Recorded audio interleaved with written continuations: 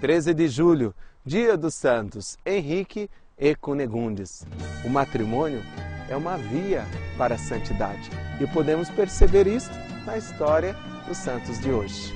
Esse santo casal.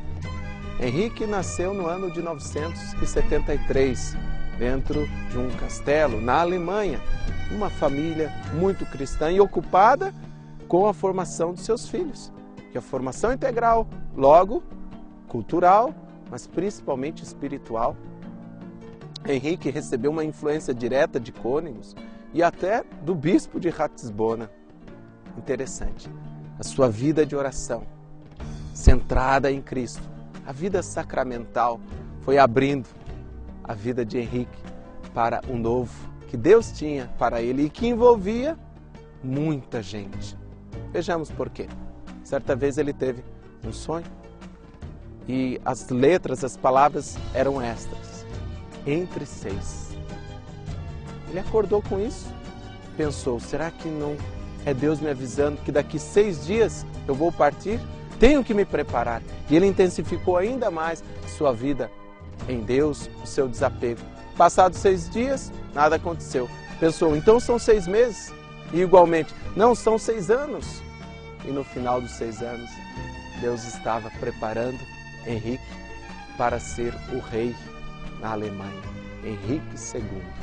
Casou-se com Cunegundes, princesa de Luxemburgo, e os dois buscaram santidade, no amor, na justiça, serem pais para uma nação, para um povo baluartes. O quanto que a igreja pôde contar com eles para a evangelização dos povos. Santos Henrique e Cunegundes, um casal que em Deus puderam contribuir para a evangelização. De fato, todos os estados de vida, de modo especial hoje, o matrimônio, como Deus quer que a santidade dele chegue a muitos através daqueles que assumem a centralidade em Cristo, na vida sacramental, na vida de oração, de penitência, de renúncia.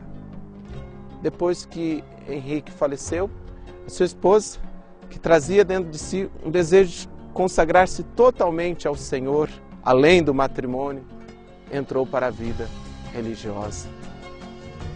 E lá, se despojando de tudo, né, consumiu-se na oração e na penitência.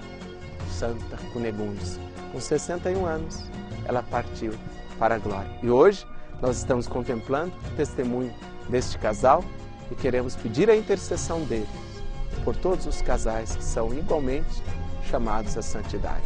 Vamos orar então? Em nome do Pai, do Filho e do Espírito Santo.